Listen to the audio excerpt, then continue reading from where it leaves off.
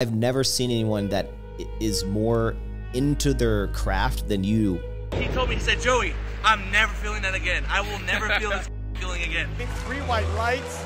And how was that a second attempt? And this guy is all types of jacked. He's going to pull this. I think he's going to pull it. The guy has a ton of muscle in all the right places. And there is your 83 kilo world champion. How the f- do you keep getting stronger?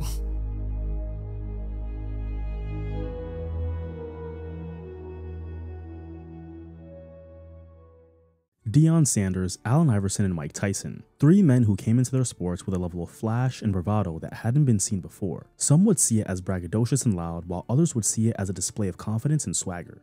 But regardless of how you may see them, there's no denying that their auras left a strong impression in their respective sports, while simultaneously creating a constant buzz around their names. Add to that the fact that the performances and talent were able to match their brazen swagger, and you have athletes who, with the right amount of self promotion, can garner a fan base and a movement that doesn't just take over an entire sport, but influence an entire generation as well. While the powerlifting world hadn't been known for having any major personalities throughout the course of the sport's history, that would change with the rise and success of one man. A man who successfully leveraged social media to blaze a trail in powerlifting that would create a massive movement rejuvenating the sport in a way nobody could imagine, while simultaneously continuing to test the boundaries of what he was capable of. While some may call him the king of the 83 kg, I call him the Fresh Prince of powerlifting.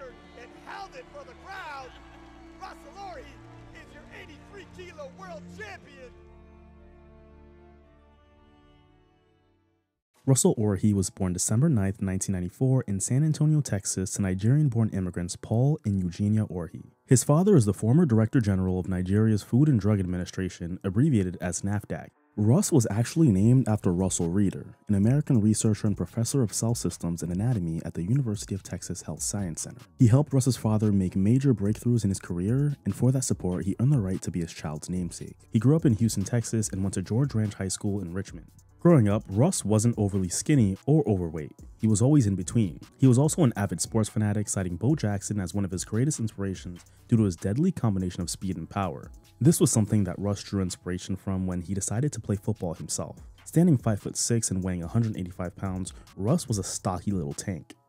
Mostly, like, the main focus was football. Running back? Yeah. Yeah. Damn, he'd be hard to bring down with those big ass legs. Yeah. that was the thing. Like I was super short to the ground and then like my legs were like a lot bigger than some of the other kind of like Barry Sanders back in the day. That guy had huge legs. No, nah, I wasn't. I wasn't shifty like that. But playing football was the driving factor behind his introduction into the gym. As any athlete knows, consistency in the weight room yields results on the field. Having become acquainted with the weight room, Russ fell in love with training so much so that he looked forward to workouts simply due to the enjoyment that he got out of it. This enjoyment, however, quietly began to produce some serious gains. By junior year of high school, Russ was benching 365 and squatting 565, all without a proper strength training program. To be able to put up those numbers at a sub 200 pound body weight as a teenager was extremely impressive. The strength he had accumulated up until this point had come from the work he was putting in the weight room for football, work that was establishing an incredibly strong foundation of strength. By senior year of high school, this strength began to reflect on his physique, as Russ started to get swole, just like his favorite anime character Goku. It would be in his high school forensic science class that the name Russ and Swole would merge, creating the athlete's signature brand name and moniker. Anyone who's played high school sports, especially football, knows that every notable player on the team generally has some kind of nickname. For William Perry, it was the refrigerator. For Marshawn Lynch, it was beast mode. And for Russ, it was Russ Bus likely due to his stocky build perfectly suited for running people over. Russ, however, was never a fan of this nickname, and was definitely ready for a change. He wanted something that was more mature and had a better ring for social media. Having been a heavy Instagram and Twitter user, Russ understood the importance of having a good and catchy handle. So it was in this forensic science class that his buddy Matt suggested the name Russ Swole, because of the double entendre with his first name, Russ Swole. Not to mention Russ's identifying characteristic being his muscular physique and thus the legend of Russ Swole was born. After graduating high school in 2012, Russ enrolled at the University of Houston, where he majored in kinesiology. Given his love and passion for training, kinesiology was a logical choice for a major. But when it came to his football career, Russ was at a crossroads. Like most people, he realized that his potential and ceiling for football had been met, and it was time to transition his energy into something else. Russ was perfectly okay with that because at that point he had realized that he enjoyed lifting weights and building his physique more than he enjoyed football, because according to Russ, he didn't do it for himself.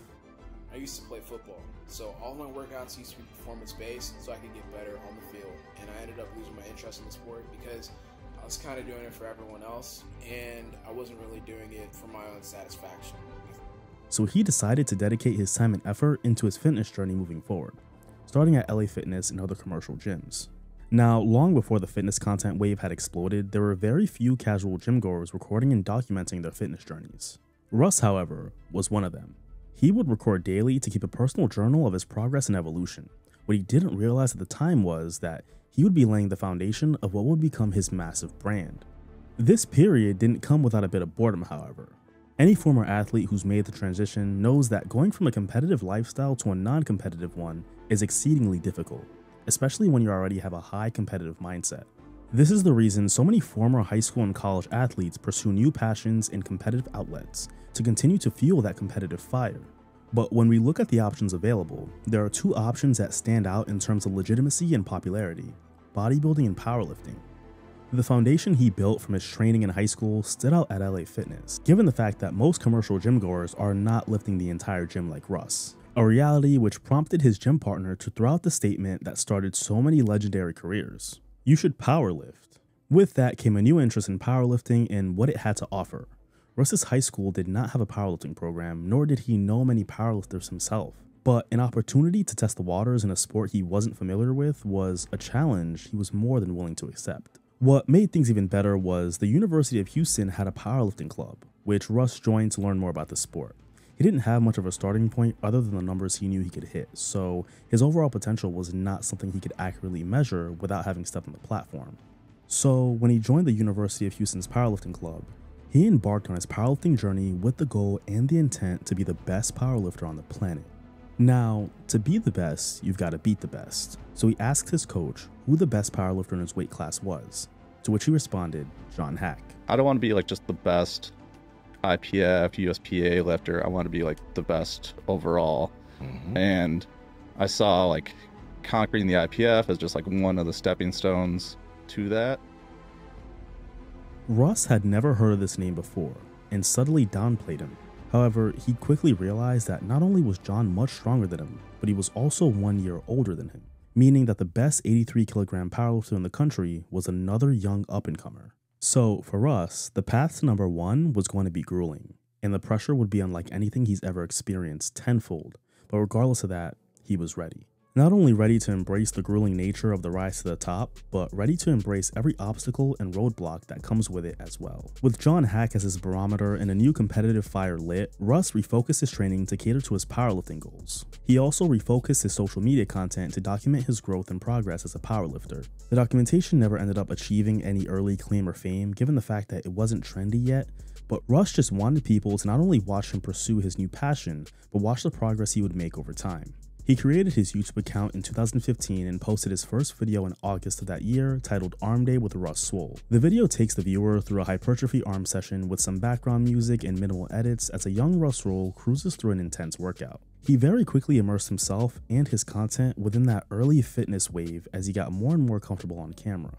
He switched back and forth between music video style edits and more personal style videos where he gave intros and even narration of what he was doing. Getting comfortable in front of a camera was not difficult for Russ, because at the end of the day, he was just having fun and educating other people in the process. This led to Russ slowly building up a bigger community on YouTube as he'd get more and more engagement in every video. Russ's ninth video on YouTube was titled This Is Who I Am and was posted October 26, 2015. In this video, he gives all of his supporters more insight into the man behind the physique and what he was looking to accomplish, giving his early supporters a better connection to him. This video also gives some detail and insight into the specifics of his motivation to compete and where that motivation stems from. Okay, let's get on to the topic I want to discuss in this video, and that's me. well, let me reintroduce myself so this goes smoothly. My name is Russel Orhii. 20 years old and I'm from Houston, Texas, or Sugarland if you guys want to get more specific. I thought I loved playing sports, but I enjoyed working out more. So I started to focus more on bodybuilding, aesthetics, instead of going to the gym to become a better football player. I want to help people start their fitness journey. I want to help people who are already on it. I just want to share my journey and hope that it helps you get started with anything you want to start. It could be about fitness, art, schools, anything. It doesn't have to be fitness. I just want to have my personal journey shared with you guys and have other people do theirs as well. As he put it in the video, he wanted to inspire others to start their fitness journeys by watching and following his own.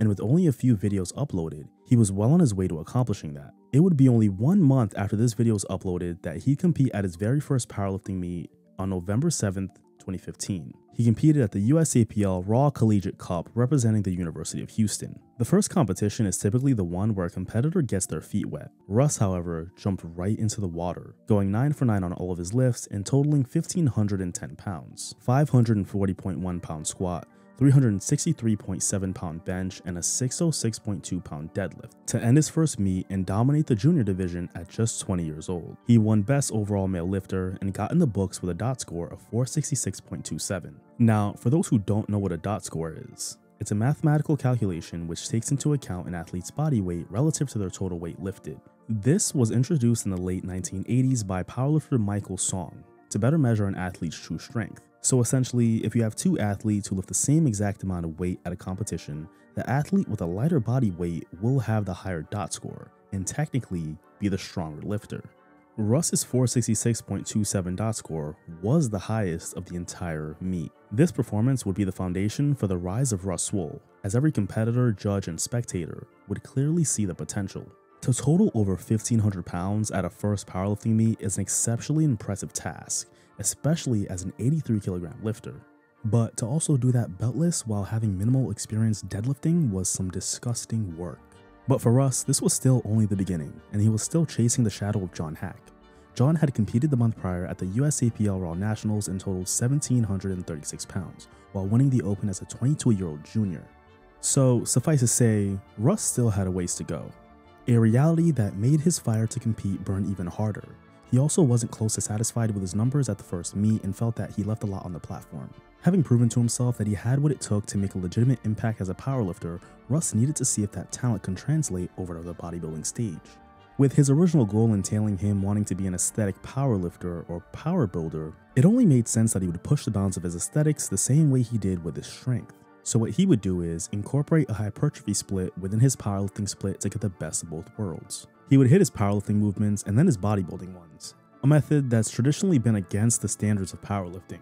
See, most powerlifters who are dedicated to powerlifting alone typically only train the core powerlifting movements while minimizing or even completely excluding accessory movements. But Russ was not a conventional powerlifter and felt that his hybrid style of training was a big factor in his dense muscle tissue. So as long as it was sustainable for him and still allowed him to progress in one way or another, he was going to continue on that path. Now, despite not knowing where his pursuit of content would take him, Russ had an entrepreneurial mind and wanted to go all in in the fitness space and take advantage of his potential opportunities.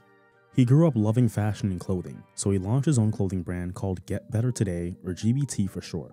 The name was inspired by the closing words of all of his YouTube videos, words that he lived by. If you like it, please comment, like, share, and subscribe. Get better today. I'm out. Get better today. I'm out. Get better today. I'm out. Get better today. I'm out. Get better today. I'm out. Get better today. I'm out.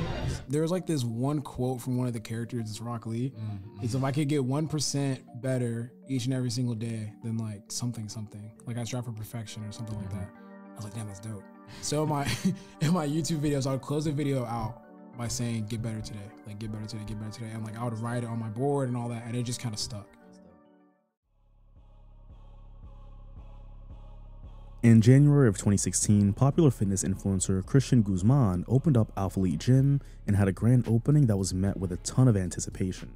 Alphalete at the time was an up-and-coming clothing brand that was gaining some serious traction within the fitness community, and Guzman was looking to expand.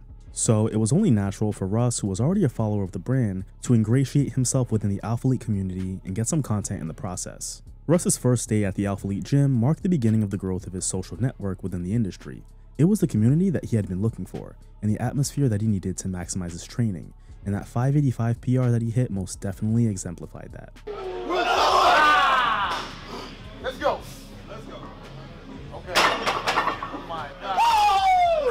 So he got a membership at the Alphalete Gym and continued to build his personal brand. He'd give fans more insight into his training regimen and how it had been progressing.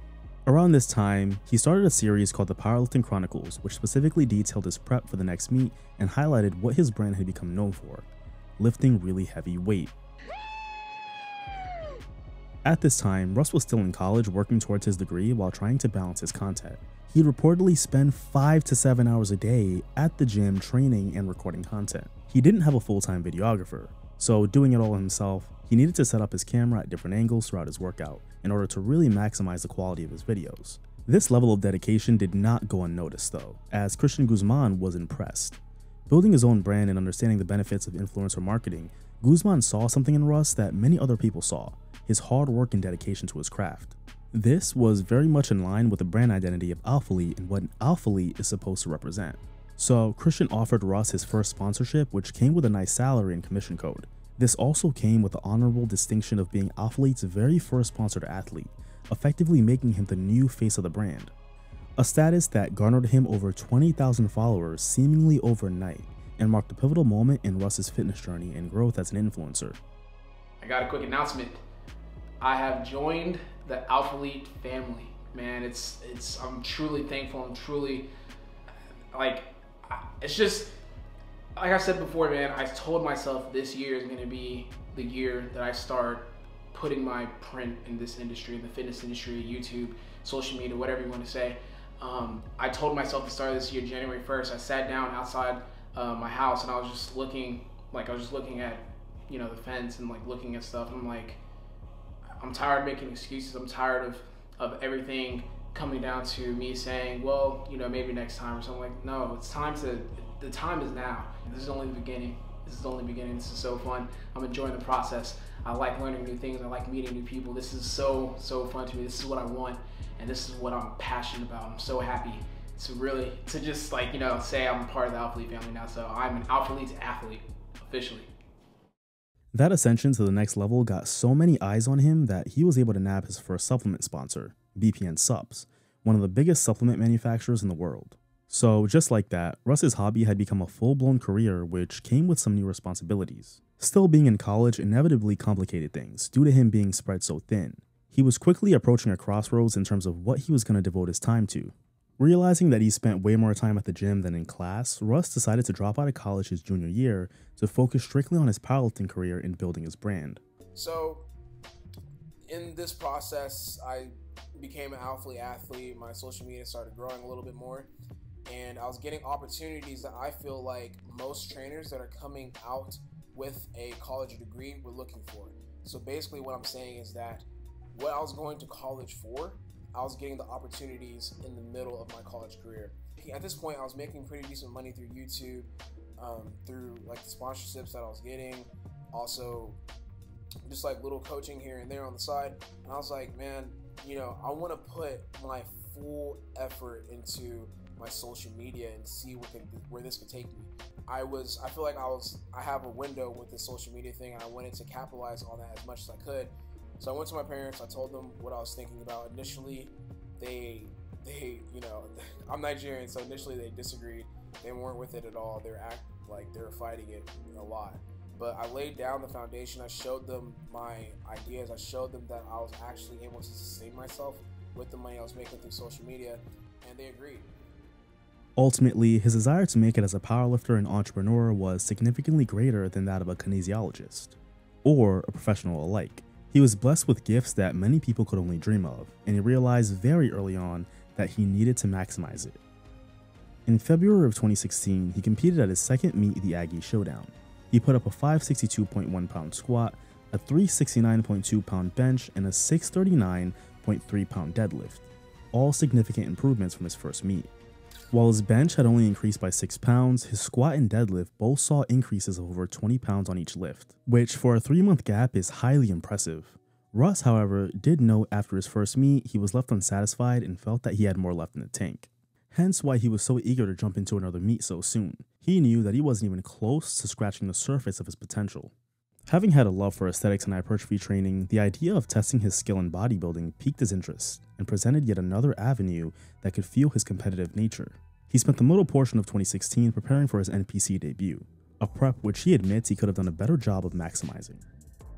I got second, so. Is This is the only bodybuilding show you ever done? Yeah. Did, did you have to do um, cardio and stuff like that for oh, the yeah. show too? Yeah. Yeah, but I wasn't. I wasn't doing everything I should have been doing. Yeah. Let's say that. Like I would uh every Thursday I have this thing with like uh the cheese Chex Mix. Mm. I would eat like a bag of that every Thursday. Which like in hindsight, like that was, that was fucking stupid. I just thought that I'm like, well, I mean, it's a bag of Chex Mix. Like, what is it gonna do? You know? Yeah. He competed at the 2016 Lee Labrada Classic in August, where he placed second in the middleweight division in men's bodybuilding. His conditioning could have been a lot better, which makes sense given his novice approach to his first show. Despite this, Russ displayed some very impressive genetics for bodybuilding. At only 21 years old, his pec development was the absolute standout feature on his physique. His arms and shoulders were perfectly proportioned for his frame, and his quad sweep and separation highlighted his very impressive lower body. Again, conditioning was the biggest area of improvement, but for a first time competitor, it was clear that the foundation was there. I would say probably just like my conditioning. Like whenever I get Mm. down to that body weight, because I know like the first time I did a show, that was like something I struggled with just because I didn't respect the sport as much. If I'm being honest, like Mm. it was my first time doing it, and I thought that like ah, like I'm lean enough, like I'm fine. Then when I got when I got to that stage, I was like, God damn. But what was even clearer was that Russ's long term potential as a powerlifter was greater than that of bodybuilding. So Russ quickly put his bodybuilding career on hold to focus strictly on powerlifting and moving heavy weight. Four months later, he competed at his third meet at the absolutely stacked 2016 Southern Regional Championships, this time in the 93 kg or 205 pound class. Now, he did come in 14 pounds underweight, but that didn't stop him from once again dominating the competition. Russ once again went 9 for 9, putting up a 633.8 pound squat, a 385.8 pound bench, and a 666.9 pound deadlift. Moving up a weight class for this meet did not affect his overall strength progression as he hit a dot score of 503.98, which represented an increase of 21.34 points from his previous dot score. Now, this wasn't the best of the meet. In fact, it ranked 8th overall and 3rd in the open class. He did only compete in juniors and dominated taking the first place medal. But given his impending move to exclusively compete in the open, this wasn't satisfactory. He needed to be able to hang with the big boys, because he wasn't going to be a junior forever. And once he stepped up to the open, he needed to hit numbers that he knew would measure up. While Russ did relatively well at 205, it wasn't the weight where he could optimize his strength.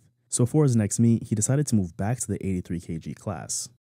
He'd hit the platform once again in February of 2017, returning to the Aggie Showdown where he put up dramatically improved numbers from his last 83 kg showing. He finished with a 617.3 pound squat, a 391.3 pound bench, and a 677.9 pound deadlift, totaling 1686.5 pounds. This matched the total from his previous meet at 93 kg, but this time giving him a 517.50 dot score, a 7.2% increase from his last 83 kg performance. He not only dominated the junior division once again, but also dominated the open in another very stacked meet.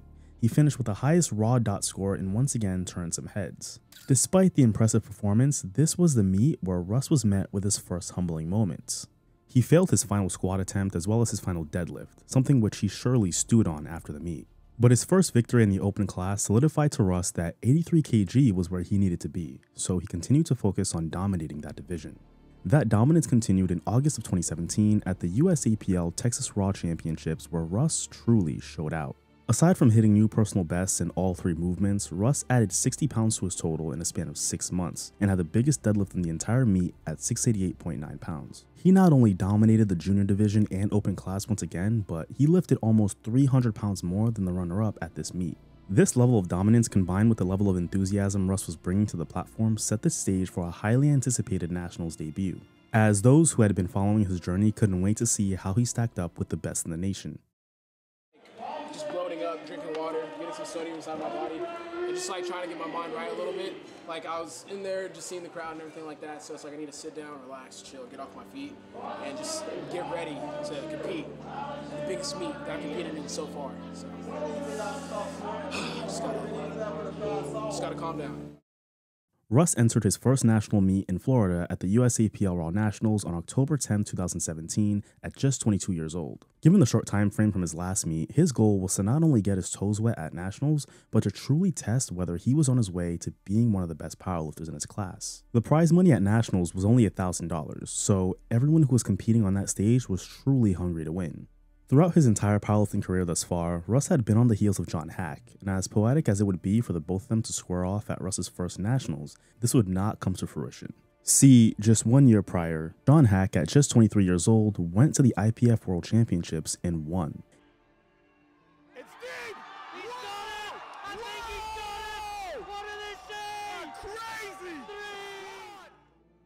He had ran through the best 83 kg lifters in the world and had nothing left to prove at tested competitions. So he left the USAPL in favor of non-tested federations to continue to push the bounds of his strength. This meant that Russ's biggest obstacle and the throne were there for the taking. Now, despite John not being present, his numbers were still in the books and a measure for Russ to shoot for. Russ came out of the gates hard, finishing with a 662.5 squat, breaking John Haack's national record by 1.1 pounds.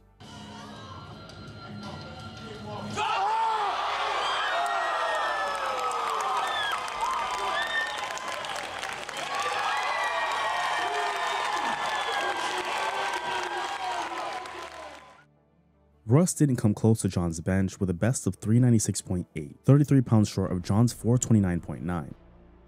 I have a obligation to my sport. So mm. when I'm inside the gym, I don't play any games. Really just I'm so laser focused. The only thing I care about is making sure that I'm in a mental mind state that allows me to lift the most weight I could possibly do. Deadlift was pretty close as Russ finished with a 688.9, 5.5 pounds short of John's best. Ah!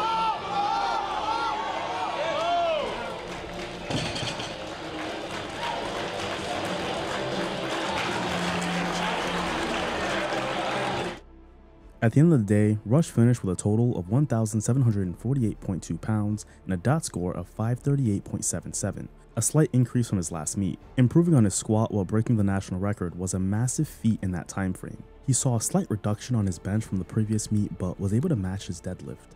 Russ having the ability to put up a better squat in that amount of time showed how advanced he was in that movement. His mechanics, his depth, and control of the eccentric at that immense of a load was far advanced for a lifter his age. Russ showed up to nationals with the intent of staking his claim as the national 83 kilogram king, and he left with not just that title, but the squat record as well. He was well on his way to accomplishing the goal that he set at the beginning of his powerlifting journey, to be the best powerlifter he could be. And that effort led him to be crowned junior and open national champion, the best in America, now, if powerlifting was exclusive to the United States, it would be the end of the Russell story. But there was an entire world of powerlifters across the sea who Russ had yet to compete against. At this point, it was clearer, now more than ever, that he wasn't just an average powerlifter. Hell, he wasn't the average human. He had been competing in powerlifting for just under two years and was five competitions deep into his career, seeing massive progress. Progress that would not go unnoticed. It was around this time that he'd meet Joey Flex, one of the best coaches in all of powerlifting and the owner of Flex Training Systems. Joey built his name as an elite powerlifter in the USAPA and USAPL, and he went on to dedicate his life to creating other elite powerlifters.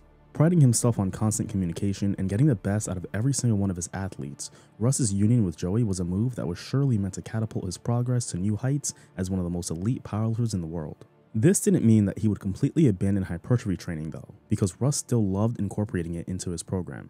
So much so that he told Joey he'd stop powerlifting entirely if he didn't allow him to diversify his training, and Joey of course acquiesced. Now, Russ's fanbase in the powerlifting community was skyrocketing at this point, as he was slowly creeping towards John Haack in terms of notoriety. His progress was something that was seldom seen in powerlifting, but what was gaining more attention was his brand identity and name, Russ's social media platforms had begun buzzing and growing as he was revolutionizing the newest powerlifting scene without even realizing it. The Alphalete Gym began crawling with other powerlifters who wanted to be around Russ and his movement. Because of Russ, more and more powerlifters began flocking the gym in search for a powerlifting community within the Houston area. Russ wasn't just an Alphalete athlete, he was becoming bigger. The growing powerlifting community had been officially put on notice as Russ was getting the attention of the press who would marvel at his impressive numbers. Becoming a national champion put him in a different realm altogether. At just 23 years old, Russ now had a name and brand image that he could maximize to build wealth. His social media savvy and ability to market himself was one of the tools that made that possible. Russ knew how to captivate an audience and get people invested in his journey, not just because of his talent, but his personality as well. If he was going to continue to claim to be the best, he knew he'd need to continue to compete with them and in the process challenge himself like the natural born competitor he had always been. He was now a pro and would need to prove himself among the pro ranks. He'd go full steam into prepping for the biggest meet of his entire life, IPF Worlds. IPF Worlds has always been the pinnacle of drug tested powerlifting. Winning Worlds immediately skyrockets you into powerlifting royalty, like it had done for John Haack and so many lifters before him. If Russ was going to show out, he needed to gain some momentum and continue to build his confidence. But as Russ would learn, it wasn't always smooth sailing, and the grind to the top would come with a consistent amount of struggle. In March of 2018, he competed at the Arnold SBD Pro American where he saw his worst performance in his last three meets. Russ was only able to hit a 633.8 pound squat as he missed his next two attempts at 661.4 pounds each.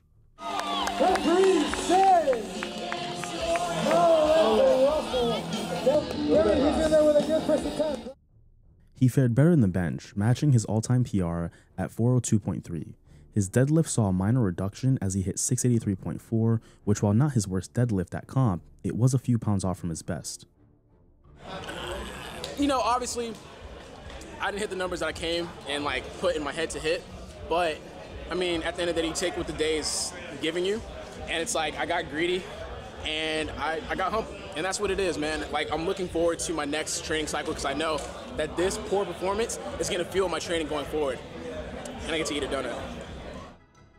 Russ faltering in his second and third squat attempts was really what hurt his overall performance. If he makes the second or third attempt at 661, he'd end up with a dot score one point off from what he had at Nationals. Instead, he'd finish with a 528.48, which was 10 points lower.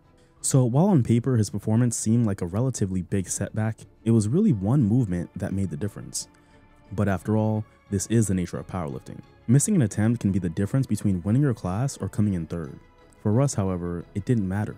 He still finished in first place, dominating his other two 83 kg competitors, with the second place finisher putting up a total that was 200 pound less than Russ's. Now, at this point in his career, he hadn't been beaten at a meet, Six meets, six first place finishes, and Russ not only surpassed his expectations when he began his powerlifting journey, but he was validated in pursuing powerlifting over bodybuilding. Russ was undoubtedly built for it, and there was nowhere to go but up. Now, in terms of social media content, Russ had gotten his brand to a high level with his own effort. This would change in 2018 though, with his introduction to the person who would become one of the most pivotal pieces to his operation, Duhan. Russ learned of Duhan when he would pop up to local gyms in the area offering to photograph influencers for free. He was working as a full-time forklift operator and freelancing on the side, but in an effort to really jumpstart his dreams, he took a chance and DM'd every big name in Houston, with Russ being one of them. Being a huge fan of his brand and his content, he wanted the opportunity to work with him, and Russ gave him that shot. And after seeing the work that the kid was able to produce, he kept him in the back of his mind. Being able to work with Russ Swole was a huge milestone for him, and he quickly realized the opportunity he had to take a chance on himself and chase his dreams in the process. He knew he had the skills to provide value to Russ and GBT. He just had to prove it. So, Duhan quit his job and offered to be Russ's full-time content creator. Recognizing the lengths that he went to to create this opportunity for himself and also put himself out there to pursue his passion, Russ took a chance on him and brought him onto the team due to the dedication it took to take that risk. While Russ was a bit skeptical at first and struggled with the idea of ceding creative control over to someone else, it was clear that Duhan really wanted an opportunity and he wasn't going to squander it. So, from then on, he helped Russ elevate his social media content to a new level, with more cinematic and captivating content that would appeal to a broader audience of people, with powerlifting being the subject. With the addition of Duhan to the team, there was no limit to how big GBT or his personal brand could grow from a creative aspect. The success of Duhan helped Russ realize that he couldn't do everything, and it was probably better for his brand that he didn't. He needed to find more Duhans that he could put in positions to succeed across his entire fitness ecosystem. Now, with the IPF World Championships just three months away, Russ was deep in prep for his biggest and most career-defining meet.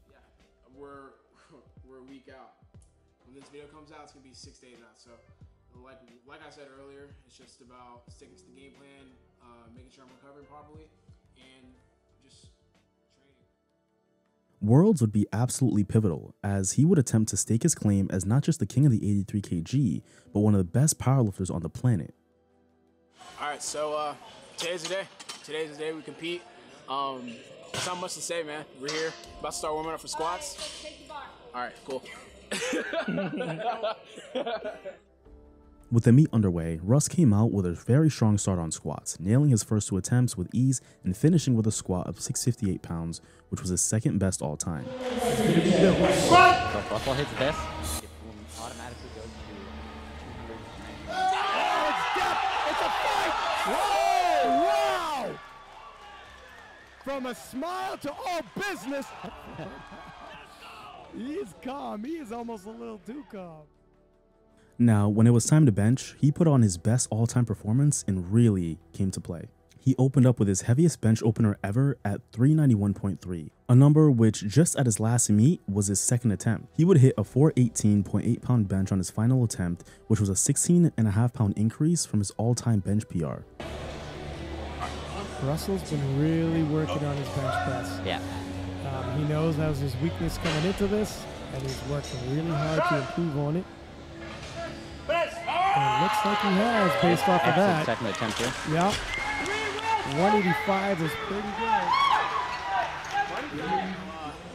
Finished up last attempt on bench. Ended up being, what was it, a 7.5 KGPR? Yeah, yeah, yeah. So like, what was that, 420? Or 418. 414? 418. 418, okay, 418, 418, 418. So, uh, I mean, feels good, so. Now, going all out on bench may have fatigued Russ a little more than he anticipated, because he started off deadlifts a lot more conservatively than he had in the last few meets. His opening attempt was 628.3, and he followed that up with a 650.3 deadlift, his lowest second attempt since 2016. To further emphasize Russ's underwhelming deadlift performance, his final attempt at 661.4 was actually 1.1 pounds lighter than his best squat all time, and he couldn't get it up. This is something that he's hit many times in training.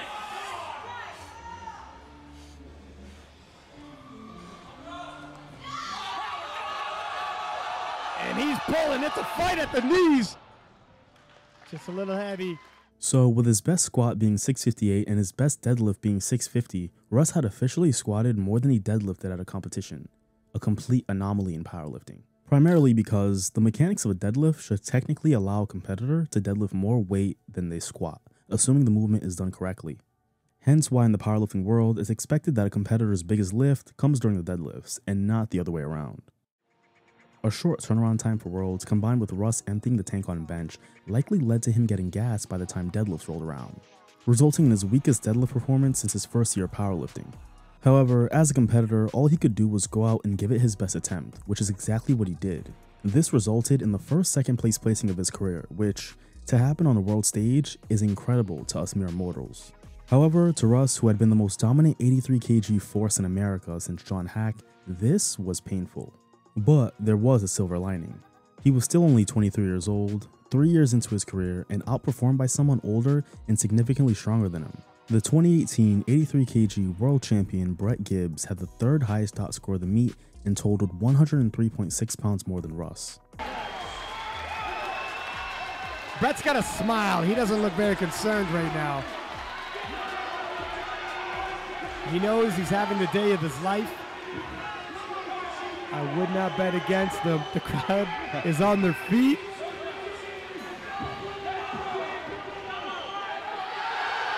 And Brett Gibbs does it, the heaviest 10 times body weight total in IPF.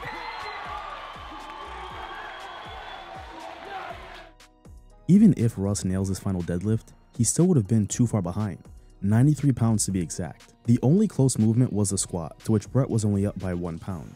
The discrepancies in the bench and the deadlift were just too large of a gap, so simply put, Russ lost to the better powerlifter, a pill which from any competitor is relatively easier to swallow. That still didn't take away from the sting of not being able to walk away number one, but for Russ, this was just more fuel to add to the competitive fire. For 75% of this meet, I was sure that I was going to lose. But what I want to kind of like make that into a message is that, like, look, man, even if things look kind of bleak, you want to follow through. You want to keep doing what you got to do in order to push through because you never know what could happen in the end. Four months after 2018 Worlds, Russ went back to the USAPL Nationals to defend his crown, this time with a vengeance. In the squat, he matched his best opener at 633.8 and made a huge jump to 663.6 and hitting it. This not only nabbed him a new PR, but broke his national squat record from the year before. So You can't just tie and win on body weight. You gotta you gotta actually exceed it by two and a half kilos. It can Right. really can really mess with you a lot. This is his second attempt. Remember, he's got so much room on a third if he makes this.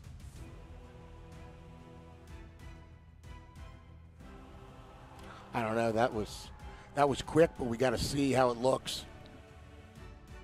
He tried to PR again on his last attempt at 679, but it did not go. Despite that, Russ was already off to a very strong start.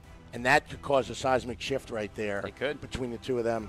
and like I buried it. I came out and I was like, damn, like it's not it's not moving. And then you know, obviously you guys saw I failed the rep. So from that point on, I had put it inside of my head that look, I think I just lost. I think I just got second place. So On the bench platform, he once again opened up at his heaviest bench opener yet at 402.3, a number which was his all-time PR just 7 months prior. He missed his second attempt at 413.3, but matched his 418.8 PR on his final attempt, enough to improve on his last meet and still give him juice to max out deadlifts, a movement he should always dominate.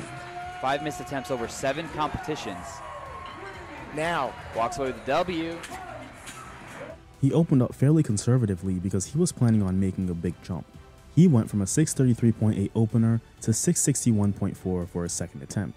With his performance from Worlds haunting him, Russ made sure to body his second attempt en route to a big deadlift. 683.4 pounds was loaded onto the bar, a number that Russ had hit before. So for Russ, it was easy money.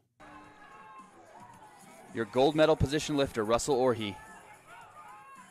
10 kilo jump, 310, 683.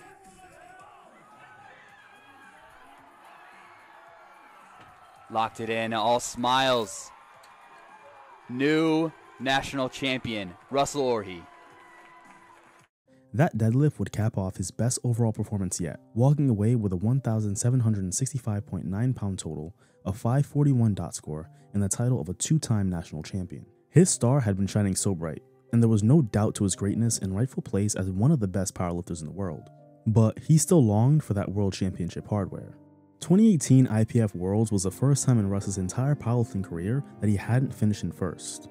Finishing in second place and finishing by such a large margin laid the groundwork for what he'd have to do in the offseason to come back and be the undisputed best in the world. He was missing certain lifts and um, both a little more experience. He's coming in here now with that. He's definitely dangerous. Eight months after Nationals, Russ and crew pulled up to Sweden for the 2019 IPF World Championships.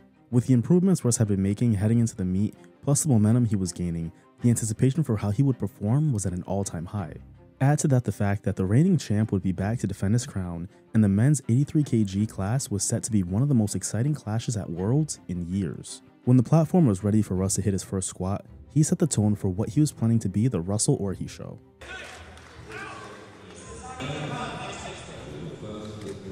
It's almost scary to think where he might go.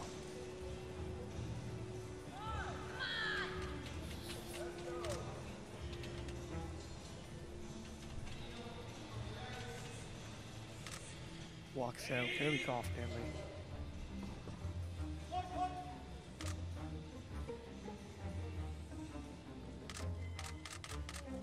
Oh, wow. Not a single expression on his face either. He opened up with his biggest squat opener ever at 639.3 en route to a PR of 673.5, 10 pounds heavier than his last squat PR. Russ, however, was not done.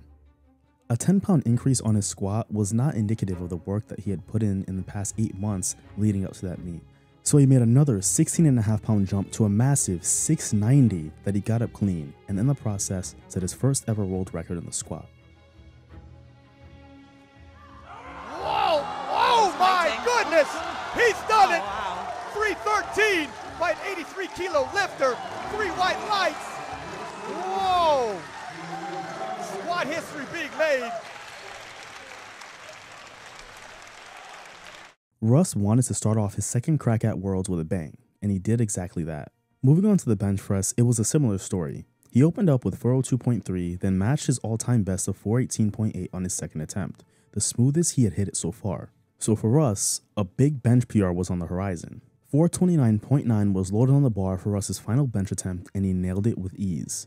Now, if it wasn't clear that Russ was on pace for his best performance all time, it would be clear once deadlifts came up.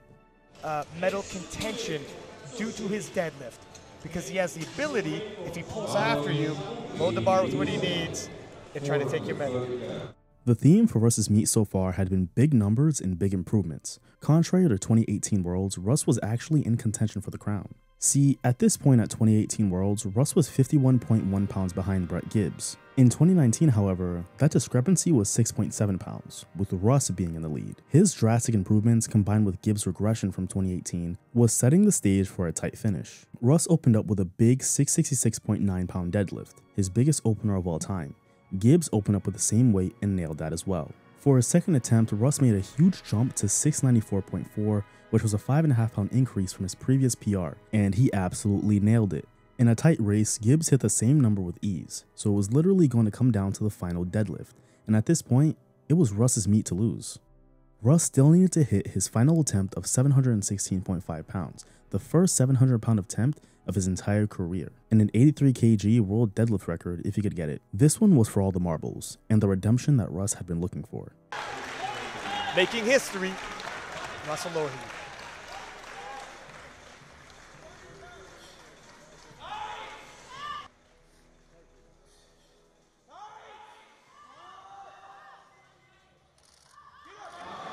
And it's up! He's done it! 10 times body weight total. New world record and held it for the crowd in dominant style. What a day he's had. Knowing he was behind, Gibbs was going to attempt a pretty big deadlift to make up the gap. He attempted a 711 pound deadlift, which he missed, effectively ending his chances at regaining the title.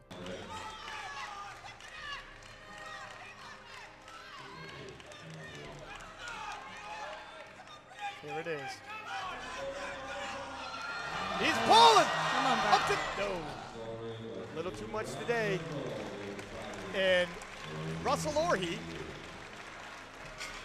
has just won the World Championships. And with that lift, Russel Orhii was officially the undisputed best 83 kg lifter in the world, and as the powerlifting community would later call him, the king of the 83s, and the new deadlift world record holder for that weight class. Holy man. Holy shit. Holy shit. That was uh I don't even know what to say. Like Joey's more hyped than I am because it's just kind of like, Bro, because to go through what he went through last year, to come back, had an adversity, back injury, take one on Yeah, the chin. yeah. He got smacked. He told me, he said, Joey, I'm never feeling that again. I will never feel that feeling again. And he came back, he got it done. Ah!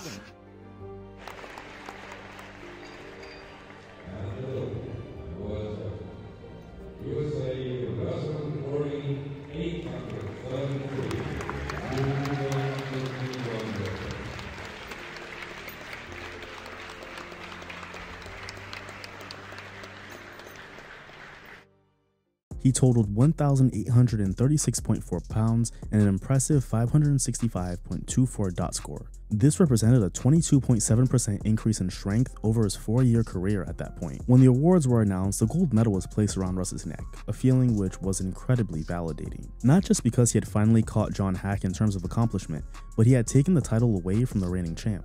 So when it came to Russ's world title claim, there'll be no questions, no asterisks, no doubt as to whether or not he was one of, if not the best powerlifters on the planet. Despite Worlds being the pinnacle of powerlifting, winning it was just the beginning of the Russell era. about it, it's still kind of surreal to me. Like I'm not even like really embodying the fact that uh, I, like right now, for this year, I'm the strongest 83 kg powerlifter in the world. that felt good to say. With IPF Worlds having taken place just four months before Nationals, Russ would have a relatively short turnaround for the next meet. Heading in with the intention to defend his title of Best in America, Russ and Joey Flex aimed to do just enough to win. With the high of the world title still hitting, Russ's plan was to coast into nationals and continue to build his legacy. In October of 2019, Russ touched down in Lombard, Illinois for the 38th USAPL Nationals as confident as ever. Given the fact that he was him, the numbers were going to be bigger than ever. It was just a matter of how much bigger were they going to be. I mean that I honestly you're not it's, it's such a cliche, you're not popping until you got haters. Well, Russ started off pretty big with a 666.9 pound squat opener, which was his biggest opener of all time. Almost 30 pounds heavier than his previous biggest opener. Unfortunately for Russ though, it didn't count. See what the refs say. But it wasn't a big deal given the fact that this weight was typically easy money for him, so he wasn't phased. So all he did to make up for that was attempt a PR on his next lift, 691.1 to be exact. Russ had gotten to a point in his powerlifting career where he was comfortable making strategically bigger jumps so that he could conserve energy for his last attempt. Now, this second attempt also didn't count. See what they say. So all Russ did was come back for his third attempt and actually make it count. officially nabbing another PR and breaking his national squat record once again. Meat life here. Russell is definitely fighting for that, and it's an unofficial world record on top of it. to stay in the meet. You have to you have to exceed the current world record because he missed his first two lifts, and you can't drop the weight below your previous attempt. So he's trying to exceed the current world record on his third attempt just to stay in the meet. And this is our final squat. Let's watch it.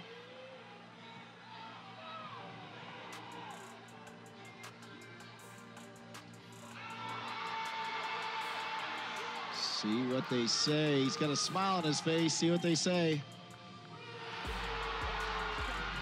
What made this even more vindicating was that John Haack had broken the national squat record over in the USPA at just 688.9 pounds, a few pounds lighter than Russ. It was crazy to see that Russ, who once lagged so far behind John, was able to eventually outshine him as an 83 kg squatter. When it came to the bench, Russ decided to employ his usual strategy of conserving energy. His squat and deadlift were just that good, so good that he could minimize his performance in the bench and still dominate. He opened up at a solid 402.3, his opener from the previous two meets. After nailing that opener, he moved on to 418.8, which he nailed as well. He finished with a bench of 424.4, which was good for second best all time for his career. Oh, it looks like he's got it. Wow. I mean, it was it See came what up. the lights are. Started three wide lights. Ready to go all out on deadlifts, Russ opened up with a massive 677.9 pounds. This was followed by 711 pounds, which he hit smoothly en route to his biggest deadlift attempt of all time. 722 was loaded on the bar for what would be the biggest deadlift of Russ's career. He's already got the gold medal around his neck. This is just because I can. Indeed. Watch this. He's going to pull this. I think he's going to pull it. If he pulls this, what would you give him for a total? Oh, so close. It would have been 833 and a half. The lift ultimately did not count, but this didn't matter though, as Russ still finished with a 1,826.5 pound total, 90.4 pounds more than the runner up Sean Noriega. The big discrepancy primarily came in the squat, where Russ outsquatted him by 96 pounds, a gap so large that making it up in the next two movements seemed almost insurmountable. Sean did outbench Russ by 27.5 pounds, but that wasn't nearly enough to catch up, especially with Russ deadlifting 22 pounds more than him. Now, this disparity in the squat between Russ and the rest of the 83 kgs in the country is astronomical. To be squatting almost 100 pounds more than the next best guy is what really solidified that Russ truly was an immovable force, a speeding train that couldn't be stopped. His leverages and mechanics, especially in the squat and deadlift, were truly elite, and a masterclass, an example to all other powerlifters on how to maximize your movements for your body type. Russ left Illinois a three time national champion, new squat record holder, and a reputation as one of the strongest men on earth.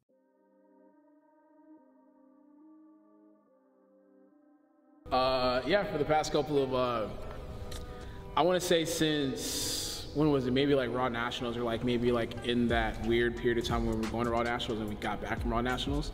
Um, so that was like October. I've had the kind of mindset of I'm creating my own gym.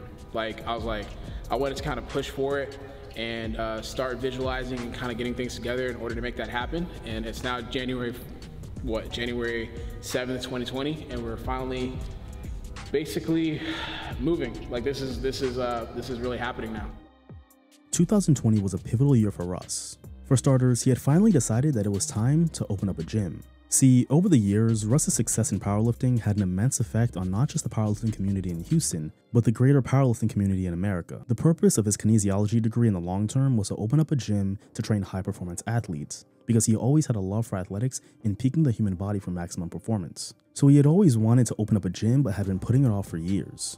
So he finally decided to carry out the idea that he had been pondering for a really long time and went and pulled the trigger. He had gotten to a place where building a gym made legitimate financial sense for him and his brand. His brand awareness was the biggest in all of powerlifting and it reflected in his social media following. What was most important was that those followers weren't empty followers. They were there to support Russ no matter what he did. Powerlifters were flocking whatever gym Russ trained at simply to be in the presence of greatness. So he didn't need Alphalete or any other gym, he had a tangible herd of powerlifters who would want to buy into his movement. and this cult following would subsequently grow his gym and the community around it. But before he could begin investing, he needed to continue to add to his team. New members who not only aligned with his vision, but were just as passionate about it as he was. This team helped Russ build the foundation of his new gym and what it would eventually become. Now, the success of most businesses stems from a strong brand identity. Russ being Russ understood this very well. However, he didn't want the gym to be exclusively associated with him. He wanted it to be its own entity, centered around the sport of powerlifting. With that came the most important aspect of a brand's identity, the name. So I was driving and uh, we were all trying to. So I have like this group. Um, before I even started the gym, I'm like, hey guys, I want to start a gym. This is the team that I want. Um, you guys are gonna be like my core group people that are gonna help me get this done. Yeah. Um, so I'm like, okay, well, number one, we need a fucking concept and a like idea of what we're gonna go towards in like regards to the gym. So we were all blanking, and I think we were blanking for like about a couple of maybe a couple of weeks. And uh, I'm the type of person I'm very spontaneous. Yeah. So like ideas just kind of come to me. And I remember I was making a late night run to get some Ben and Jerry's at Walgreens. Nice. and I think I was listening to a podcast and they brought up something about corruption. Like it was like politics or corruption or some shit like that. And then um, I'm like, damn, corrupted strength. That's a cool word. I was, like, that, I was like, that flows, but it doesn't really make sense. Yeah. you know what I'm saying? But I'm like, but I put it in the chat. I'm like, yo, corrupted strength. No one said anything. It didn't have to make sense. Yeah, and I was sitting there. I was like, okay, maybe it doesn't make sense. But I'm like, okay, no, no, no, that. Like, I'm gonna flip this idea to get what I want to get out of it. So I'm like, all right, corrupted strength. How can we make that mean something? So I looked at it and I'm like, all right. As powerlifters, we all have different walks of lives. We all have our daily jobs, and we corrupt who we are as individuals to come inside of the gym and become like weight, mon- weight uh, weightlifting monsters or whatever. Right. Um, so that's where that concept came about. And I've always been a fan of like Japanese culture and like anime and all that type of stuff. So the logo was a oni mask, which is like to ward off like bad spirits and all that kind of stuff. Oh. Yeah. So then I sent that over to to the designer. He created a whole brand manual for it, and that's how Corrupted Strength came about. With the name and logo figured out, Russ needed to find a location. He found a space in Stafford, Texas that would be perfect for powerlifting. Not too big, but not claustrophobic either. It was perfect for what he was looking for. So perfect, in fact, that he signed a lease at the end of 2019. Now, in terms of buying equipment, Russ didn't want to devalue the aesthetic and environment by putting in either low quality equipment or pieces that didn't match the vibe. See, the vision for Corrupted Strength was to combine the feel of a traditional powerlifting gym with the aesthetic and ambiance of a modern gym. Old school and gritty with a modern flair and style. So with a $100,000 budget, Russ brought his vision to fruition. Why can't powerlifters have nicer things like that? Like we could definitely, I could definitely give this experience to the other lifters. Um, so when I created Corrupted Strength, I just wanted to give that gritty environment while also obtaining like a quote unquote bougie um, Yeah. experience. He made sure that all of his pieces were the same color and came with the Corrupted Strength logo. The gym also reflected Russ's love for bodybuilding by including accessory equipment that would appeal to not just bodybuilders, but the new generation of powerlifters as well. The powerlifters that Russ inspired to heavily incorporate accessory movements. The gym was a representation of the evolution of the powerlifting space and reflected what modern powerlifters were looking for, which subsequently created an experience that was going to make Corrupted Strength a destination gym for powerlifters across the country. And this is exactly what Russ always wanted. He even started working on Corrupted Strength merch, which would be separate from GBT, and it was clear that he had something special brewing. Something so special that over time it would transcend just being Russ Swole's gym. With a target opening of 2020, he was ready to elevate his brand and empire to a new level. Being as busy as he was, he wanted to allow his team to focus on the day to day while he focused on building the culture.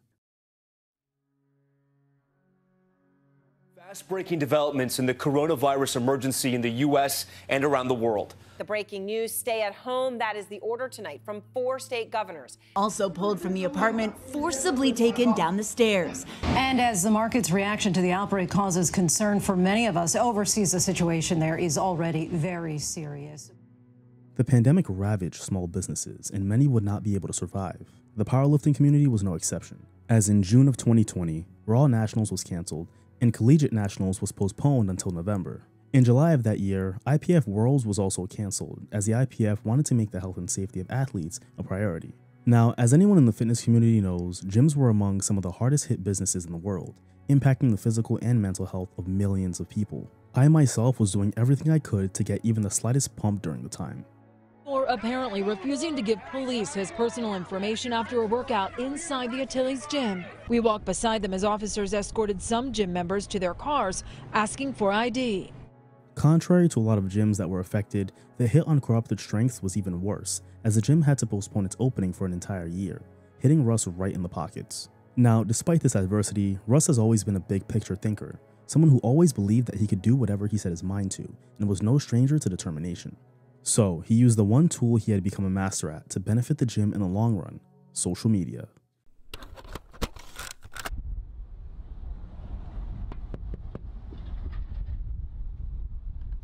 Yo, what's up, MTV Cribs? Welcome to my gym. Come on in, man. All right, so right here we have the front office space. This is where we kind of chill, kick it, relax. Maybe you finish up your workout, you pull up to the couch, you chill. Let me show you guys the couch. This is my favorite part. Big chilling. You know what I'm saying? Grab a nice little picture, flick up the gram. Welcome to the fridge. So we have our choices right over here. We got, you know, the fruit punch, red Gatorade, and we got the blue, cool blue Gatorade. I mean, you know, Gatorade sends them out every now and then, you know what I mean? Like, if I'm missing a little something, I might send in a little care package to take care of your boy. Let me show you the office where I get my work done. My office. It's not really of anything, it's more so of what you guys believe it is. What do you guys see when you look in here? The, the beauty is in the eye of the beholder. Russ spent a lot of time in 2020 promoting and marketing Corrupted Strength in an effort to build maximum hype leading up to the grand opening. A grand opening that would feel like Christmas to a lot of powerlifters. Along with the added anticipation that Russ's marketing would create, the pandemic would serve another benefit to Russ in another big way growth. See, with the two biggest meets of the year for Russ being cancelled, he had no choice but to use 2020 as an offseason. The first long offseason of his entire career. Since 2015, Russ had been competing in 2 to 3 meets per year, with his longest gap off being 10 months. And this gap was very early on. He had been grinding his way to the top while taking shorter and shorter periods to grow, and yet he was still getting better. So, with the state of gyms in limbo and no set end date for the pandemic, Russ knew he'd have the most time he's ever had to improve, which to the rest of the competition had to be terrifying. Told me to end before I end the video. I just kind of wanted to announce to you guys that a lot of people have been commenting, yo, when's CS opening? I can't wait until CS opens, blah, blah, blah, this and that. Like, bro, when this gym opens, it's gonna be dope. I've actually been kind of like sitting back and, and like surveying the playing field and just like paying attention to the news and stuff like that. And I think, not think, but I'm most likely leaning towards opening in 2021. I remember in January, I kind of announced to you guys that I was creating Corrupted Strength to be opened hopefully by the summertime. But the way that things are working out, like in terms of getting custom equipment made, getting equipment down here, and just like the delayed time with the whole um, virus situation, it's been a little bit kind of like a, a process, right? So I want to be able to have this gym open under like the best circumstance. I mean, there's never going to be a perfect circumstance for a gym to open, but in terms of just being able to have everyone come down for like a huge like quote unquote block party and, and grand opening and that cannot be done if uh, you know people are still uncomfortable to travel and it's just taking a little bit longer than we anticipated for the equipment to come in due to the fact that there's a limited amount of people that are able to work on the custom equipment. Russ spent the entirety of 2020 just building. From his business ventures to his physique, GBT was seeing massive growth in popularity across the fitness scene, and Corrupted Strength was continuing to gain some massive hype. Most importantly, however, Russ was getting stronger. With his squat being his most impressive movement, Russ was showing off some massive gains. Hitting new single and rep PRs at a seemingly abnormal rate, the anticipation for how drastic Russ's improvements would be was incredibly high. Everyone wanted to know how one of the strongest men in the world would do after over a year's worth of improvements. The next time I step on the platform, I'm gonna be a whole different human being. This is almost like when Goku, it's kind of like when Goku knew, right? And the whole Z team knew that there was a big threat coming and they went into the hyperbolic time chamber to train and came back stronger. This is like that moment. So I get to go into the hyperbolic chamber. The next time you see me, the next the next time you guys see me on the platform, I'm gonna be a whole different individual. I might be squatting 650. I might be benching 450. I might be pulling 750. 2020 also saw Russ enter one of the most divisive conversations in the entire fitness industry the Natty or Not debate, spearheaded by YouTube's Natty or Not authority, Coach Greg. Coach Greg, and today it's a Natty or Not video on Ryan Dengler. He's an Alphalete sponsored athlete, not Gymshark. He's 20 years old, six foot one and a half, 225 pounds of pure beefcake. It was inevitable that Russ would publicly have his natty status in question given his combination of mass, aesthetics, and overall strength progression. It wasn't unreasonable for anyone to at least wonder if Russ might have been enhanced, but like many natural lifters alike, Russ used to defend his natural status very hard, until he realized that what other people thought didn't really matter. But the fake natty claims, like, Uh-huh. how do you deal with all that shit nowadays? I don't I don't care. It doesn't bother like I think when I first started, it bothered me. But like now that I'm like I know that I'm not taking Mhm. anything, why why should it bother me? Like that's your opinion. You know, it's Mhm. not it's not fact. I yeah. mean, like I said, it's I think it's funny because um what's that guy's name that he he he does like the fake natty stuff. He has like a very like Oh, high pitched voice. The Greg Doucette. Yeah, he actually yeah, Yeah, yeah. he called me out. He's like, this guy is an natty. da, da, da." Hey, that's pretty good. Yeah. That was really good. Oh, shit. Russel Orhii. I was like, I was like, okay. And I made a response video. And then he ended up like retracting what he said. He did make a response video to Greg's claims in the most Russ swole fashion, where he calmly made some very valid counterpoints to Greg's original video. When it came to when it came my turn to get the whole natty or not conversation, I wasn't bothered because I just look at it as straight up entertainment. At the end of the day, I do what I do. People are gonna have opinions on that. Um, it is what it is. I'm very comfortable, um, kind of where I'm at now. It's just like, look, I work out hard. You know, I do it naturally. Um, I compete in a natural federation for powerlifting, and people will take what, from that what they will take. Like they're gonna, some people are gonna believe I'm natural. Some people are not gonna believe I'm natural. That's not my goal with this YouTube channel. My goal when it comes to lifting to proving whether or not I'm natural. But um, the only thing that kind of annoyed me with the video is the fact that this dude didn't mention that I am like I am the world record holder in the 83 kg weight class. Like I am quite literally the best 83 kg lifter in the IPF in the world. And he didn't mention that. And the reason why I'm bringing that up is because when you compete in the IPF, you get OMTs. So OMTs are out of meet testings. For the people that are watching my YouTube channel or people that are subscribed to me already, you know that I get tested frequently out of meet. I literally have people coming up to my door um, around the year testing me. This only strengthened his case as a natural athlete. Greg did respond to this video by retracting his original claim of Russ being unnatural, which was a rarity for the subjects of one of his Natty or Not videos. natural in a previous video. And the reason I did that was mostly based on the fact that I'd seen him post a picture uh, saying he was 14 years old looking like He-Man. I watched the video and then I reached out to him and said, uh, I'm only right 99.6% of the time, and this is one of those times when I'm wrong. So this video is me responding to Russell to clear everything up and to say, I actually got this wrong, and I actually now think he's natural. This guy has freaky one in a billion genetics, and he's able to get this jacked and this strong natural. This concluded a very entertaining little back and forth between the two, which brought a decent amount of publicity to both. Regardless of what Coach Greg said, claims against Russ's natural status had always been and always will be present. However, he's a national and world champion in the most stringent drug tested federation in America. His origins are from a part of the world where the people are genetically predisposed to building a lot of muscle tissue. To top it all off, he began building an athletic foundation at a relatively early age and had been training consistently since. That's not even to mention the fact that he can get drug tested randomly at any given moment. So when it comes to genetic gifts, it was clear that given the circumstances, Russ was a part of that 1% group. After all, this is the man that eats two meals a day and a snack, trains fasted, and still moves weight like this.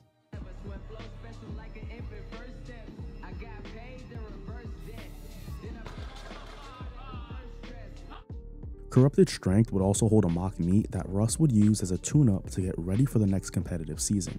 But with the turnout, setup, and vibe, it would lay the groundwork for what would eventually become something very special. With the pandemic dying down and society returning to some normalcy, the USAPL went back to business as usual. With nationals set for June of 2021, it was time for Russ to remind people why he was called the King of the 83s. He had been making impressive progress heading into the meet, and there wasn't a question as to whether he would dominate again. The question was, how much stronger was he gonna be? We'd find out on meet day. I think like even in high school, I just looked at like I just looked at the bigger boys, and I'm just like, I'm gonna I'm gonna get to your point eventually, and it's gonna be awkward when I am, cause like I'm smaller. right. So it's just like I'm gonna get to that point eventually.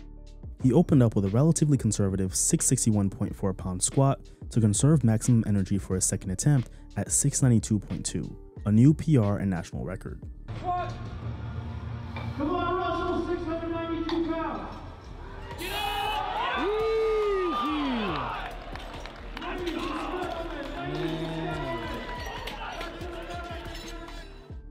Given how that squat moved, it was clear that Russ was going to smash his squat record and probably hit something in the 700s, something which hadn't been done in the history of the 83 kg in the USAPL.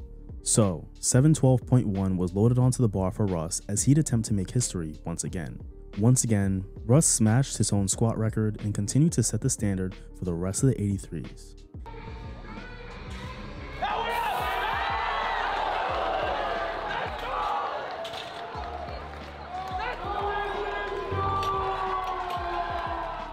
He'd continue his tactic of coasting through bench by opening up at 407.8, a number that was easy money.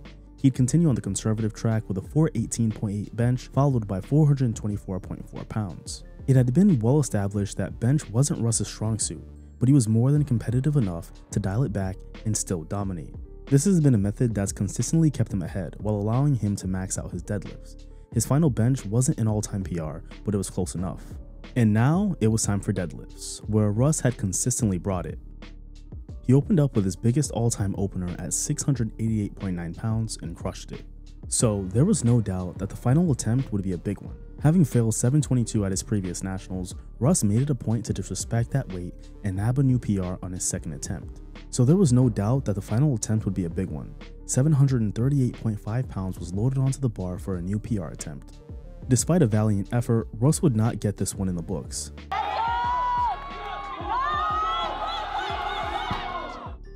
But being the competitor that he is, this would just be more fuel for the offseason. Now, despite missing that final attempt, Russ once again came out on top and earned the title of four-time national champ. He finished with an all-time best total of 1,858.5 pounds and a DOT score of 570.89.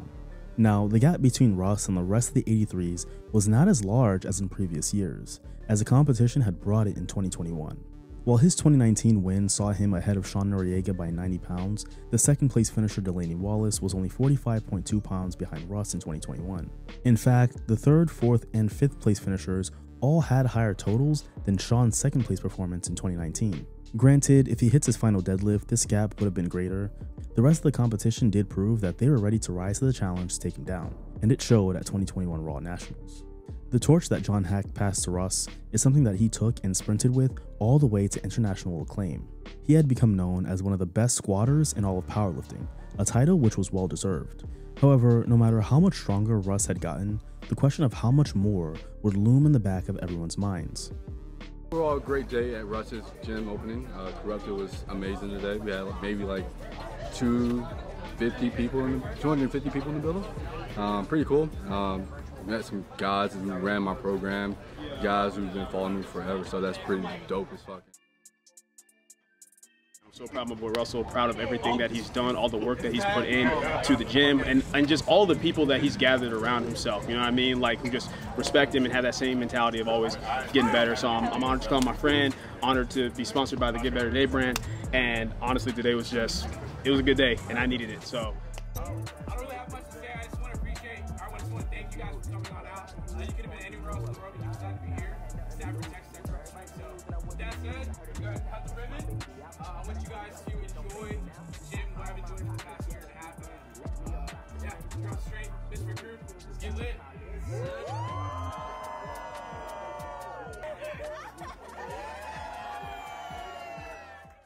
Fifteen days after winning his fourth national title, and just four years after the grand opening of Alphalete Gym, Russ would have a grand opening of his own. One that ended up being one of the most highly anticipated gym openings of any influencer within the industry. He didn't even know what he had on his hands in the beginning because the monthly membership fee was $35, an insane value given the quality of the gym it was relative to the competitors in the area that were charging way more. So after some convincing by NACA CEO Charlie Coker, Russ increased the membership fee to $64.99, much more in line with where it should have been. I don't know what we were doing, but I was in Charlie's office with his uh, business partner Sam, and we were talking about corrupted. I'm like, yeah, it's about to open. Like, uh, I think we were talking about like having them uh, have a booth, and uh, he's like, yeah, so we're gonna charge for a for a for a membership. So I'm like, uh, I think like probably like thirty five dollars. And you know when you say something, But you know, like- you, you know you say it again, everyone's just kind of like quiet, and you're like, you're like, okay, maybe that wasn't a good idea. Charlotte goes, damn, you really? It's even like Sam who doesn't talk at all. Like, Yeah. Sam was just kind of like, you should definitely bring that up. Yeah. so he's like, he's like, bro, like you're, you're Russ Swole, like you're this. He's like, bro, I've been to that gym. That gym is not a thirty-five dollar a month type Yeah. of gym. So that's when we were. That's when I was like, okay, like let's bump it up. Um, so we did fifty. I think we did fifty-nine, and then honestly, I think I looked at a gym that I'm not gonna say any names, but I was just like, we are way, Yeah. way better than them, like in terms of just equipment and what we have to offer. So I was like, we need to bump it up even more. Your phrase, let's get on shirts, Better every day. You truly exemplify that, man. Like in your lifting, your everyday life. Like, man, let me tell you right now, man. This is somebody where I can call anytime and he'll listen to whatever I have to say. He don't even have to give a damn about it, but he'll listen to what I have to say. And you encourage all of us to get better every day, not only in lifting but in life, man. You encourage me to want to be uh, a better coach, a better lifter, a better husband, eventually a better father. And I appreciate you for that. And all the work that you put in here and all the work that people are willing to put in for you is because you motivate us to do that. Like you're worth putting in that work for. I think I speak for everybody here when I say we appreciate you. We met. I met a kid the other day. He moved from Philly to Houston to, to train at Corrupted, and he's like, "I just wanted to be down here because the vibes look good." I was like, I was like, I was like, what the fuck? Despite all the motion going on for Russ, the grind wouldn't stop in his competition prep as IPF Worlds was right around the corner. However, Russ was put at an interesting crossroads.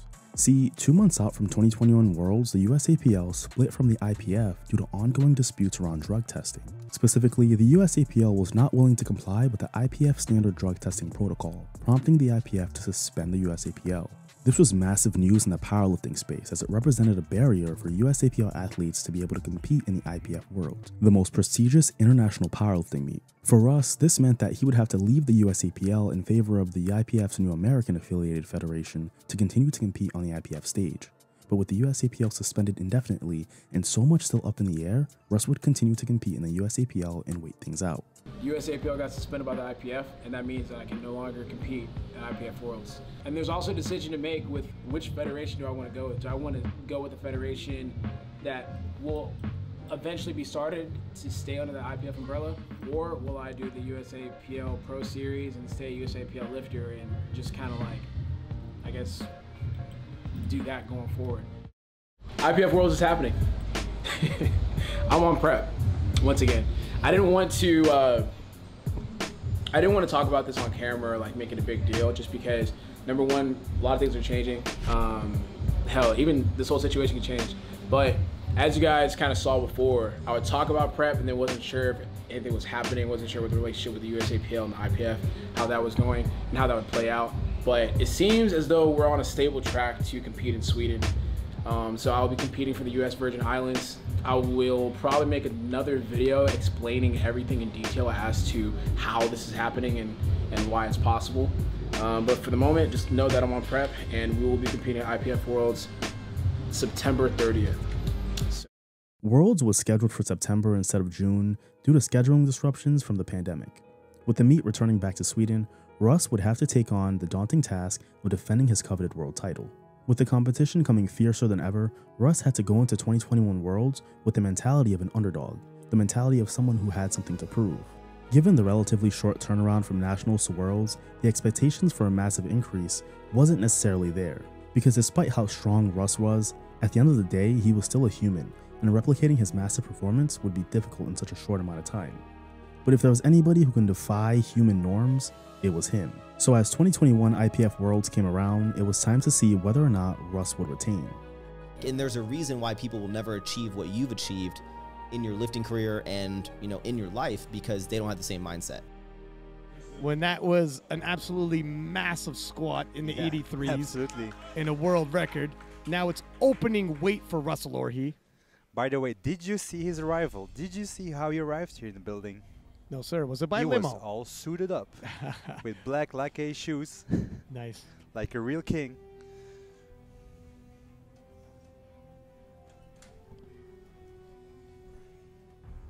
He started out fairly conservative on squats, opening up at 655.8 pounds, and made a big jump to 691.1.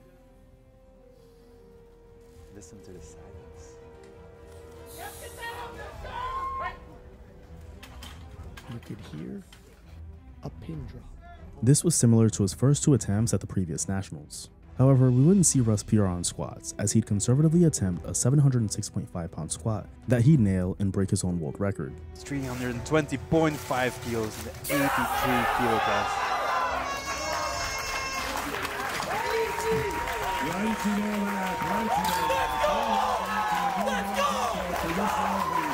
So we opened up relatively light just because the judging has been very, very strict uh, this past meet. And two meets ago, depth was somewhat of an issue. So making sure we hammered it, got opener in, and then once I started feeling it, I had my legs under me. I'm like, all right, off to the races. He'd follow his usual bench pattern as he'd hit conservative numbers all across the board. A 396.8 opener followed by 407.8 for a second attempt, and finishing bench off with a 413.3 pound bench. These weren't his best numbers by a mile, but were consistent with his bench methodology. Combine that with Russ not having hit his competitive peak for the year, and it was not a surprise that his bench would be on the lower end.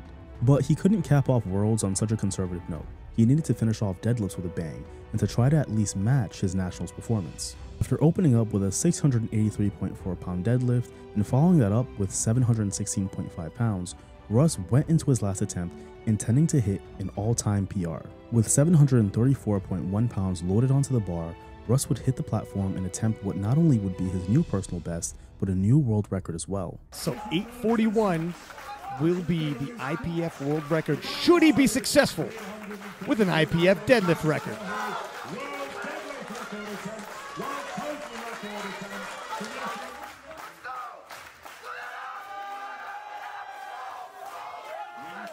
And there is your 83 kilo world champion.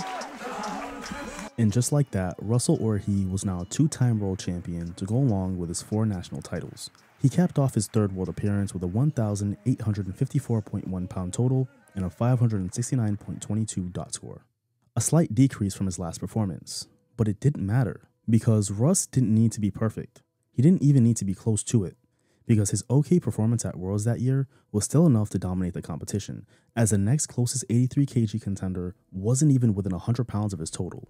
His dominance was becoming more persistent, and his legacy more cemented. He was undeniably great, and so far ahead of the competition because of his squat that he just had to come in 1% better than last time to win. The victory also validated his desire to continue power building, as the added muscle tissue allowed him to move in different planes or when he needed to make changes mid-meet, and that was on display at Worlds.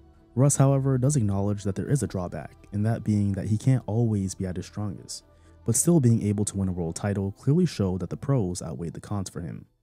We got situated in the hotel, uh, got our rental car for the weekend, and uh, first things first, fucking live. At the end of the day, y'all know what we do. We got Miranda here, we got Miles here, we got Jamal here, we got the whole team here.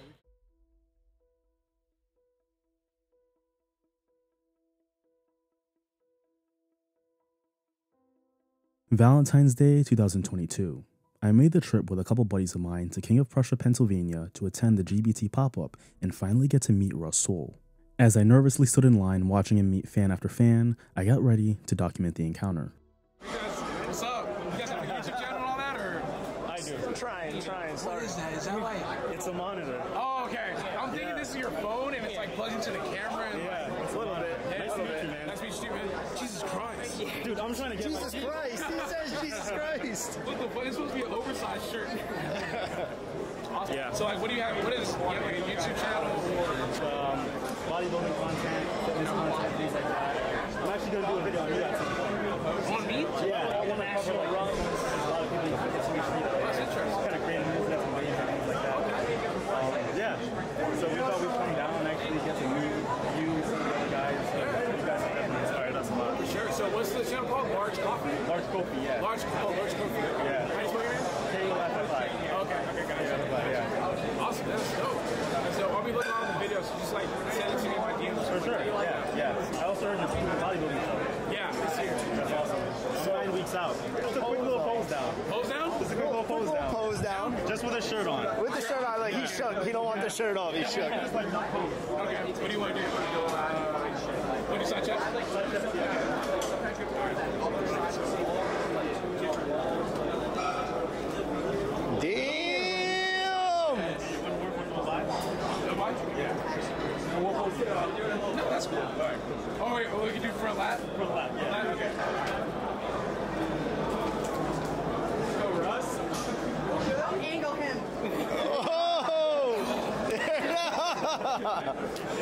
And this was the exact moment that I realized that the Russel Orhii that portrays himself on camera is exactly the man that you would meet in person. Now, given the fact that this happened over a year ago, I don't expect Russ to still be on the lookout for this video, so I'm going to be counting on every other Russell fan to help me make it happen. Oh, and while we're at it, comment down below who won that pose off.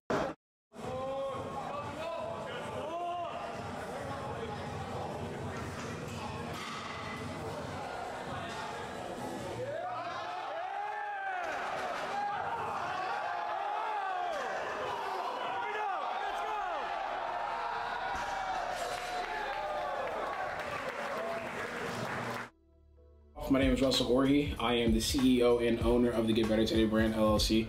Um, so I started the Get Better Today brand back in like 20, I want to say 17, but we say 2015 here because that's when I basically started my fitness journey and started documenting what I was doing. And I had this phrase that I would say all the time, which was get better today. And the concept behind that is if you can get 1% better or just an inkling better every single day, um, you'll probably end up reaching your goals.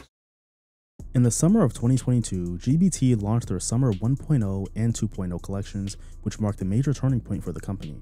Their projected annual revenue increased dramatically from those launches, taking the athleisure scene by storm and surprising Russ in the process. The little clothing brand that Russ established back in 2015 had become the clothing brand at the forefront of the newest generation of powerlifting.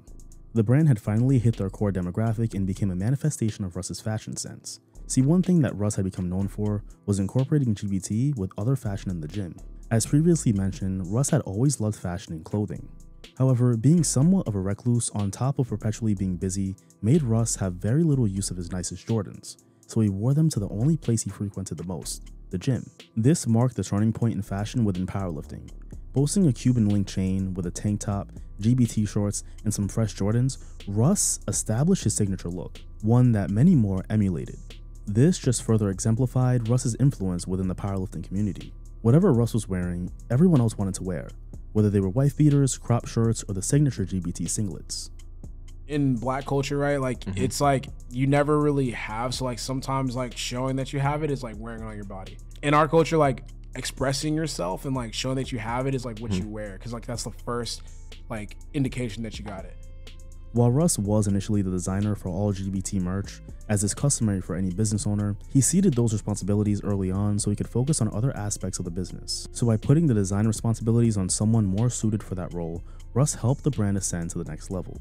Every drop has followed a theme, with some designs telling a story and the entire drop cohesively flowing together like one masterpiece. Some drops have succeeded better than others. However, regardless of how each drop does, Russ and team have continued to get creative and push the envelope, never being afraid to take risks. With Russ still being affiliated with the USAPL, he couldn't compete at 2022 IPF Worlds, so he opted for Mega Nationals instead, relinquishing his world title claim. Like what you do in the gym, it doesn't really matter. Like you gotta be a performer. Like you gotta be able to come in here in front of like the bright lights and like in front of all these people and like still do what you do in the gym. Absolutely. Like you don't get to control your environment anymore. Right. Your dic- like your lives are dictated by them. Pulling up in the only way that Russ Swole could, he arrived in Vegas donning a mink coat while whipping the G-Wagon. When it was time to hit the platform at 2022 USAPL Mega Nationals, he opened up with a 655.8 pound squat, followed by a 684.5 pound second attempt, and he finished off with a 706.5 pound squat, matching what he hit at Worlds the year prior.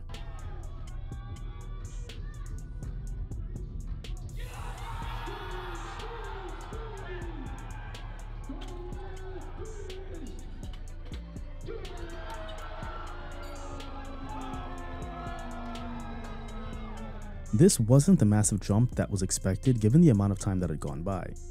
In the bench, his numbers were identical to 2021 Worlds as well, with a 396.8 pound opener, followed by 407.8 and 413.3. He only pulled 722 this prep. I, I, I think I my gut is telling me that if we jump 12 and a half, it's over. Over, I think 711 is gonna win. Okay? I'm not gonna go over 733. I don't think. I don't think. I don't want to. But if you do that, you pay out your fucking total after being injured. That's crazy. Bro, this is crazy. We'll see how shit moves. Yeah, we'll this is shit crazy. moves. That's insane. 711's Deadlifts followed almost the same exact pattern as his numbers would be almost identical to the previous worlds with the exception of his final attempt.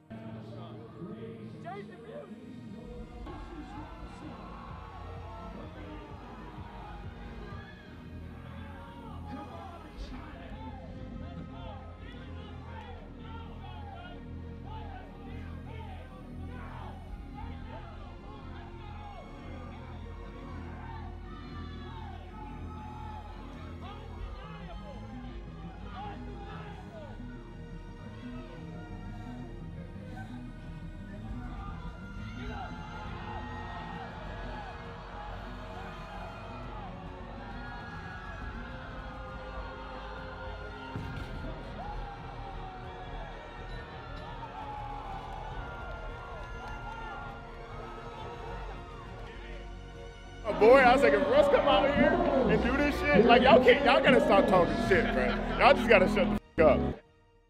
He finished off with a 727.5 pound deadlift, his second heaviest of all time. While Russ didn't hit any all time bests or break any of his national records, he still did enough to fend off the competition.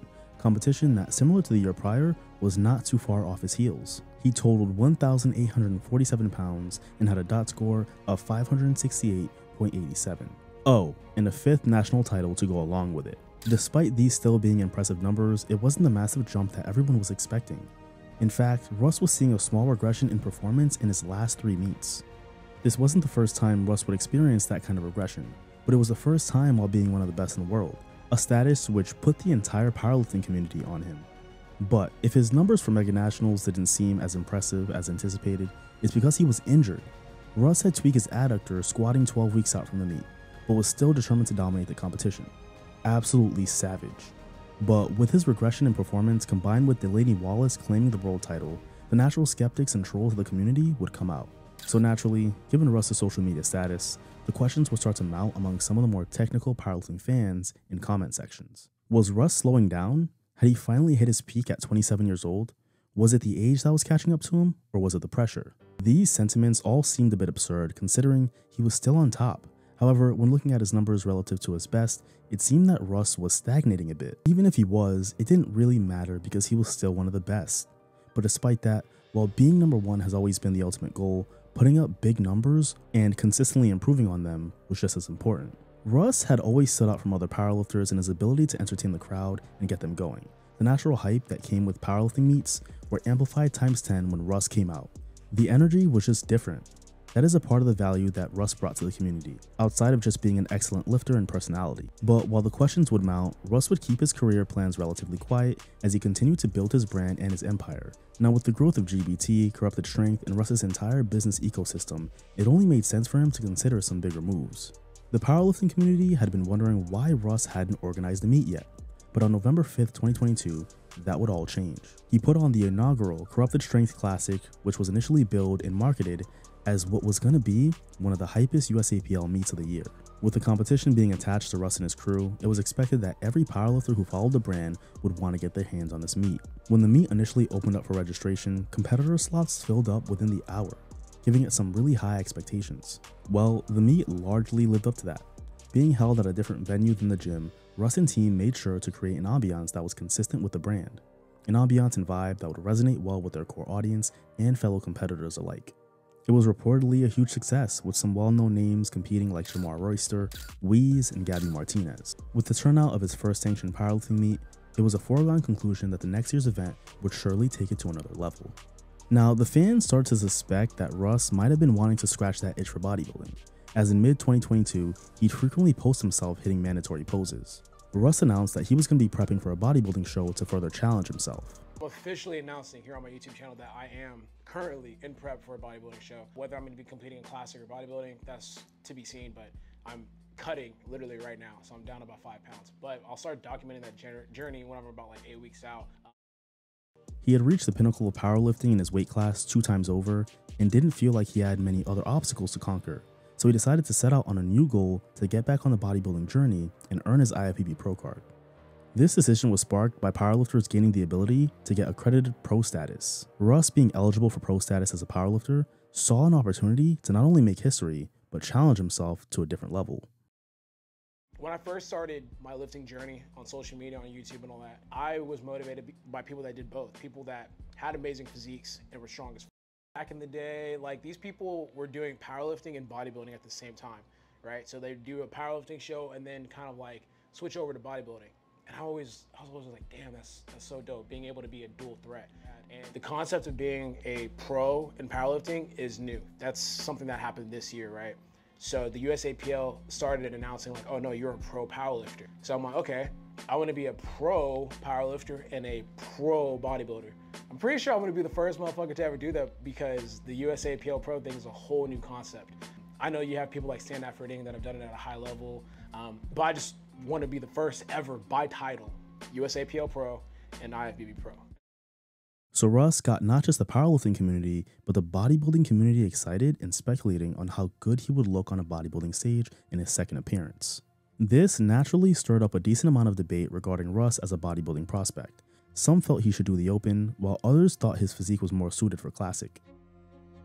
The guy has a ton of muscle in all the right places. Massive shoulder arms, traps, chest, and a six pack. And this is his off season. Unbelievable.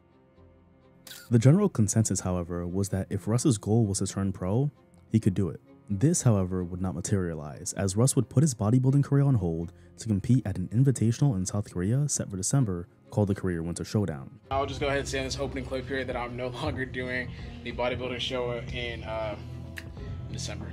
But there's a good reason for that. Trust me, I'm not dropping out. I didn't quit. I quit, but I didn't quit. I'll explain whenever we get to that. But right Let's break this down in about two minutes. Oh, that's good. That's good. All right, let's break this down in about two minutes. I had every intention of doing my bodybuilding competition. I had every intention of doing it. I was actually married to the process. I was doing the cardio. I was posing, um, but an opportunity came completely out of nowhere. So I got a message from the USAPL Korea, and they actually want to fly me out and have me compete in a basically like a local meet over there and help push the sport of powerlifting over in their community. So I was like, damn, like I'm not even sure. You don't go those those type of opportunities don't present themselves very often, right? So I was just looking at it from the perspective of like, I'm thinking of myself as an athlete, almost like a Kobe Bryant, a Tracy McGrady, uh, a Michael Jordan, where you know you go overseas to Asia and you promote the sport of powerlifting and helps boost like kind of like your overall audience. So. Uh, Russ not only wanted to hop on the opportunity to compete at a high profile meet overseas, but he wanted to make this meet one to talk about. It needed to be worth the anticipation. So he decided to move up a weight class. This was an interesting decision as Russ had become an international staple in the 83 kg. But it seemed like it was time. Time to step up and prove that he wasn't okay with staying comfortable or complacent. He was never going to stop proving something to himself. The last time Russ competed outside of this weight class was his third meet back in 2016. It was a decent performance, but not where he could maximize his strength. Competing at the 90 kg would be a cornerstone moment for Russ's career, as it would be an indicator as to whether or not it was time for him to move up. The goal with this meet was to push like powerlifting and just kind of like be here as a presence as one of the leaders in the community of powerlifting to kind of like push the culture more here in South Korea. When the Korea Winter Showdown came around, the entire community would be watching with extreme anticipation. The expectations that everyone had for Russ going in weren't just met, but exceeded. He opened up at a massive 699.9 pounds, but missed the lift.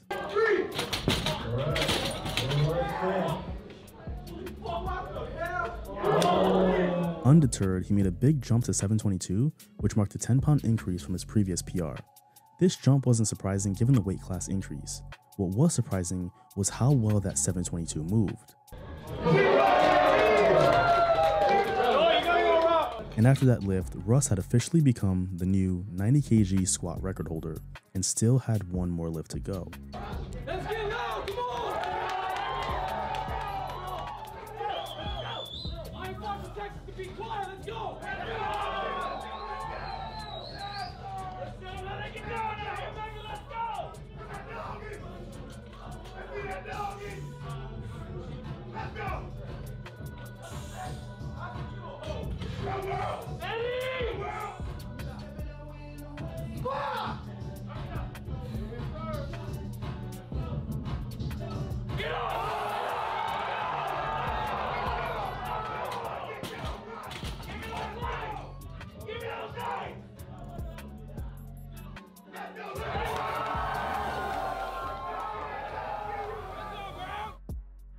And just like that, he'd break his own record once again.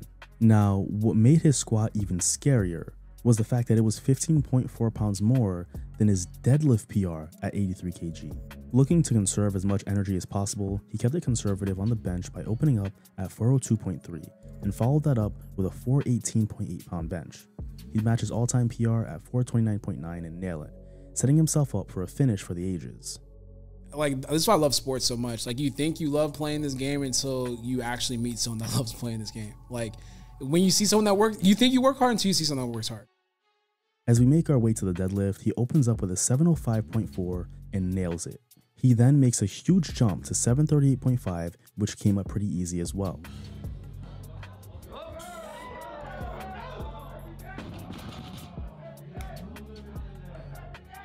But for his final attempt, 771.6 pounds were loaded onto the bar for the second biggest deadlift of the entire meet.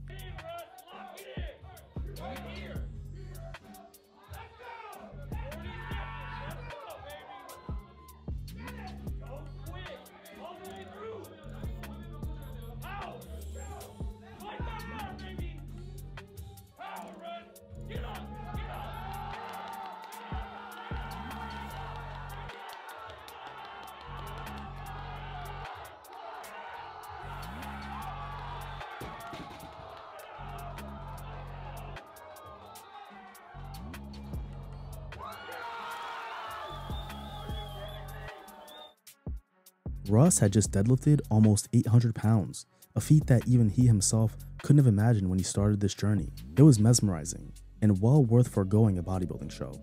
Russ had proven that he was more than willing to take his talent to another weight class and make a serious impact. Russ finished with a 1,951.1 pound total and a dot score of 572.69, almost four points higher than Mega Nationals. So the idea that Russ might be slowing down was put to bed with his performance in South Korea. Also, just man, shout out to Korea. I just heard him say that, but um, this place is fucking amazing. It's really cool. Everyone here is so welcoming and so nice.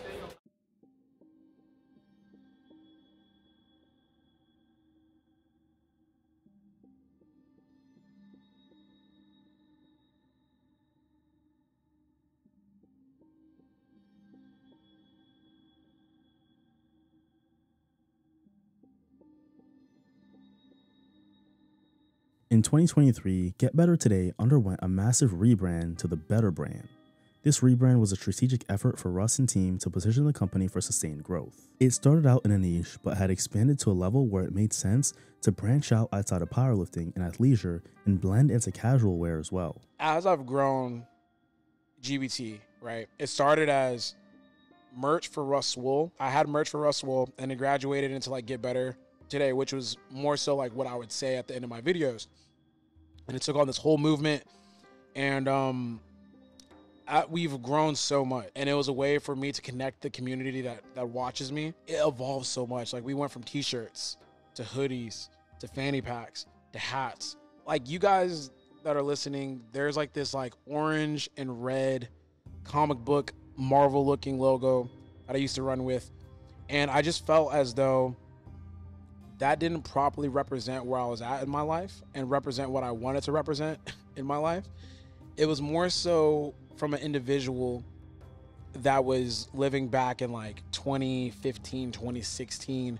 I was a younger person back then. I had different views. Um, and this was just a way to mature the brand. And I was like, we need to find a way to mature it. The brand had reached new heights, elevating Russ's business footprint tenfold. He also launched his podcast called The Better Take, where he spearheads conversations between himself and other notable figures in the fitness industry and on his team. With his progression as a businessman and working towards his personal aspirations, it only made sense for him to set up the foundation for his future after powerlifting. This was a part of the reason why Russ spent 2023 off the platform. He's entering a turning point in his career where he needs to decide his next move in terms of powerlifting. He is no longer the reigning world champion, as Delaney Wallace currently holds the title for the second time after winning 2023 IPF Worlds. But Russ isn't going anywhere. He's clearly gearing up to make a huge splash at his next meet, whether it be in the 90 kg or 83. And based on the numbers he had been putting up and the ridiculous progression he's been displaying this offseason, it's clear that the king is going nowhere. Which is why in July of 2023, Russ announced on his channel that he would officially be leaving the USAPL. I'm leaving the USAPL. The reason why I'm leaving the USAPL is because I want to go back to being a world champion powerlifter again. Having decided to rock the bald look and seeming to have packed on some added size, the energy that Russ is going to be bringing in 2024 is going to be different to say the least. Now, despite no longer having the title, he was never dethroned. He never stepped on the stage as a world champion and had someone take it from him. So given the amount of time that Russ is taking to prepare for his inevitable return to the platform, it's going to be scary regardless of the weight class. Now, despite his glaring confidence, Russ has asserted that his internet personality is something he needed to get comfortable with, as he's always been a reserved person. He's also gone on to acknowledge that he isn't ruling out the possibility of hitting a 500 pound bench or even a 1000 pound squat, and with no signs of slowing down, nobody should put it past him. Most recently, Russ has been dealing with a few obstacles. The 2023 Corrupted Strength Classic was set to be bigger than the year prior, as it was going to be held at NRG Stadium in Houston, home of the Texans. The idea of a powerlifting meet being held at a football stadium was something that was unfathomable to most just a few years ago. However, leave it to Russ Swole to help make that happen. With the meet selling out just as quick as the year prior, there was no doubt that the 2023 Corrupted Strength Classic was going to be one of, if not the biggest meets of the year. But unfortunately for Russ and all the competitors who signed up, the meet would be cancelled. The Corrupted Strength Classic needed to be put on the back burner so that Russ and team could focus on keeping the business alive. This has to be the priority, as Russ has invested too much time and energy and money into building what it's become. We got notification from our landlord that uh, he has no desire to kind of like re-up on a new lease uh, following this year. We have like the rest of this month left, and we have October and November, and then um, December, right? So uh, the biggest thing is figuring out like a new location, if that, right? Um, the gym, the gym makes enough to like kind of keep itself even and stuff like that. But we have to number one, find a new location, find a location that we actually like, location that's available, and then move all this stuff over to a new facility. We also had to cancel CSC, right? So Corrupted Strength Classic isn't happening. The people that, I mean, if you're already watched this video, you kind of already know about it, we posted it. Um, but Corrupted Strength Classic 2024 or 2023 isn't happening just because of that reason. Despite the state of the gym being in limbo, Russ never had plans to expand. He always wanted Corrupted Strength to become a destination gym, a powerlifting oasis where fans and competitors alike could travel just to go experience. And the hope is is that it stays that way, wherever it may be. Russel Orhii embarked on his fitness journey with the intent of being the best version of himself and started documenting it to inspire others to do the same. In the process, he reached heights even he could have never imagined he'd hit. He brought personality, swag, and bravado to a sport that lacked in all those departments. And he blazed a trail that thousands would follow in the process. Russ cites Charlie Coker, Christian Guzman, and Max Tuning as some of his biggest inspirations in terms of success within the fitness industry, and role models within his circle that pushed him to be great.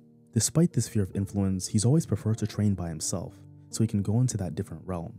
When Russ goes back to watch his old content, he can't help but get emotional sometimes, seeing how far he's come. From a kid from Houston with a dream, to multiple time national and world champion, he claims that the day he stops getting stronger is the day he's lost interest. The Better brand has become a staple in the fitness industry, with Russ expanding his athletes to include some of the biggest up and coming powerlifters in the industry like Jamal Browner, Cranon, and Weeze. Also, along with Swole Ricketts, who brings a different demographic as well. With the brand having represented more to people than just clothing, its fan base has become one of the most dedicated and active fan bases in any athleisure brand out there.